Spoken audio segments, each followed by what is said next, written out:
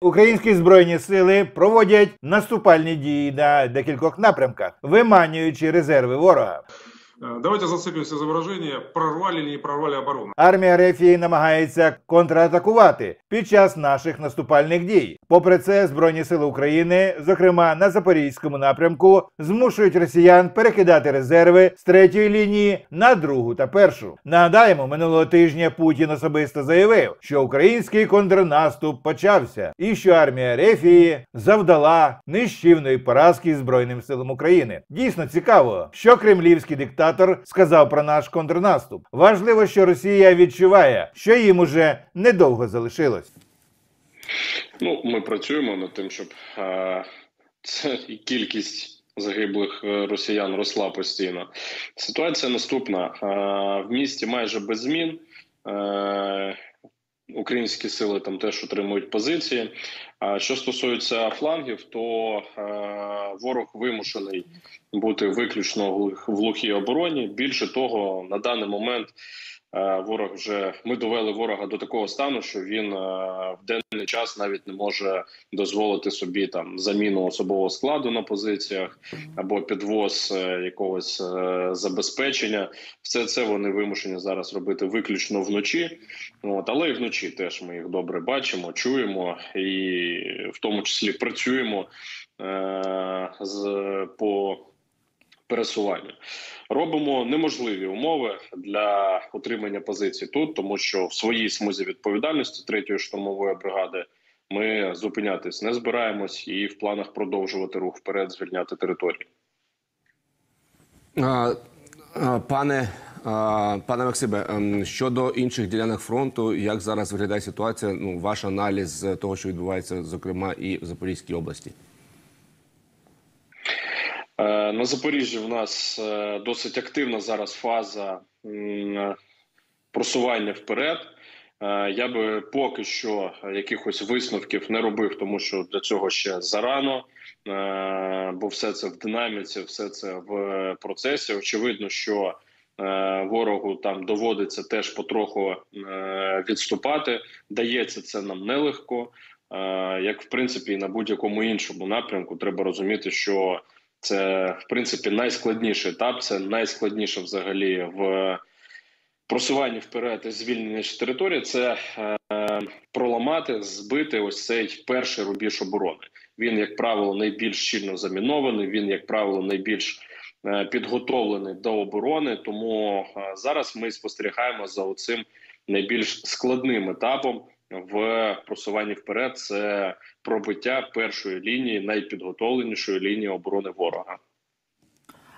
Пане Максиме, міністр оборони України Олексій Резніков заявив, що за підсумками е, засідання Рамштайну сформовано літакову коаліцію. Данія і Нідерланди забезпечать підготовку українських льотчиків на винищувачів F-16. На вашу думку, як це вплине на хід війни? Е, Супер позитивно. Я думаю, це вплине на хід війни. Е, Чесно кажучи, е, чим швидше, тим краще, тому що авіації нам не вистачає на сьогоднішній день. Не секрет, що ворог повністю володіє небом, і дуже складно з цим боротись. Авіація ворога майже безкарно працює. От тому е, наявність нашої активної е, української авіації вона може переламати багато на яких напрямках хід подій. А, ще одне повідомлення про те, що Джо Байден е, він заявляє, що США не будуть вживати жодних спеціальних заходів для приєднання України до НАТО, зокрема спрощення самої процедури е, вступу. Але водночас він констатує, що українська армія вже відповідає стандартам НАТО. Тут йду- е, йдеться про інші речі. Як ви взагалі розцінюєте таку заяву взагалі? Чи не може пропустити, що от таке зволікання, зволікання воно тільки заохочуватиме Владимира Путіна на подальшу агресію проти України? Ви знаєте, моя моє особисте ставлення до цього питання таке, що з самого початку війни, да й в принципі до початку повномасштабної війни, е, я вважаю, що ми маємо в першу чергу спиратись саме на себе, розраховувати саме на свої сили. І початок повномасштабної війни показав, що тільки ми собі самі зможемо допомогти. Так, безумовно, на сьогоднішній день там дуже багато допомоги є від е, західних країн, і це нам безумовно надзвичайно допомагає отримувати результат. Але саме е, власні сили, е, український характер це те, що зробило перелам на початку повномасштабної війни, і те, що сьогодні багато в чому робить перелам в цій війні. Тому е, я вважаю, що ми завжди, в принципі, маємо в першу чергу розраховувати. Саме на себе, саме ніхто більше за українців собі не допоможе. Безумовно, треба працювати над тим, щоб е, на свою сторону да там більше змушувати е, допомагати інші країни, альянси, союзи.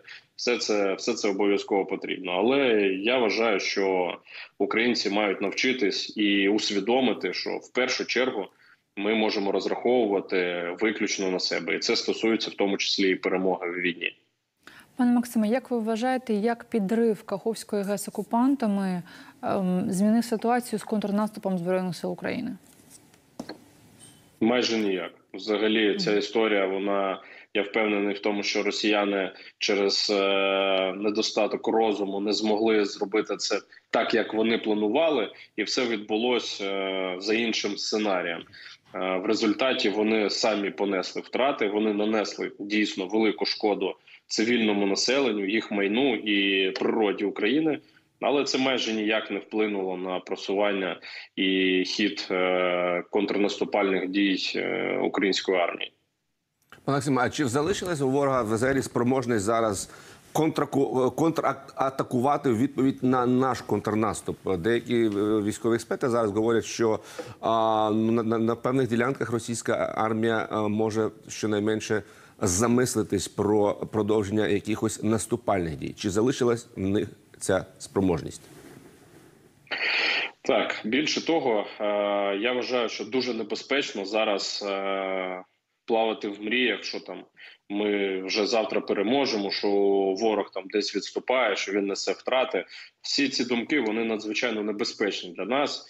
І тому що ворог як був сильний, так і залишається сильним. У ворога як було більше, е, більша армія, більше особового складу, більше техніки, більше авіації. Так і залишається на даний момент. Всього цього у нього більше. Так, ми отримуємо перемоги, там якісь локальні, місцеві. У нас є ну, успішні операції, у нас є звільнені території, але поки що зарано говорити про те, що ворог там вже впав, що він зламаний, що він що в нього немає сил. У ворога, на жаль, достатньо ще сил для того, щоб у нас е, попереду були надзвичайно важкі бої. Пане Максиме, наприкінці минулого тижня, в п'ятницю, з'явилася інформація про те, що окупанти і адміністрація тимчасово окупованого Криму планують евакуацію з півночі Криму. На ваш погляд, е, от е, чи можуть фактично за певних умов, які влаштують Збройні Сили України, росіяни тікати з окупованого Криму? Е, Можуть більше того, я б радив росіянам вже починати це робити, принаймні, поки є ще діючий е, міст, через який можна звідти тікати, тому що українці, українська армія е, все одно прийде в Крим. Вона його звільнить, вона його поверне під український е, прапор. Але не факт, що на той момент вже буде змога втікати всіх тих, хто зрадив Україну або хто воював проти України. Тому е, український прапор над Кримом це неминуче. Е, а те, що росіянам доведеться звідти тікати, то так і можливо навіть зараз найкраще для цього момент.